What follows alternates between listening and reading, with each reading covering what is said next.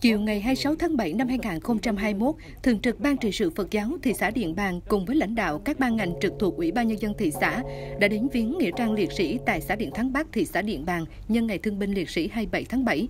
Tại lễ viếng, ông Đặng Hữu Lên, Bí thư thị ủy, Chủ tịch Hội đồng Nhân dân thị xã Điện Bàn đã khởi ba hồi chuông để tưởng nhớ các anh hùng liệt sĩ. Sau đó, các phái đoàn dân hương tưởng niệm sự hy sinh cao quý của các anh hùng liệt sĩ cho dân tộc Việt Nam